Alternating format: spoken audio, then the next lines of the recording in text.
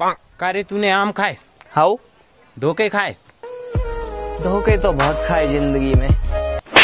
आशिक बन रहा बिल्कुल आई। हम आम धोबे की बात कर रहे हैं।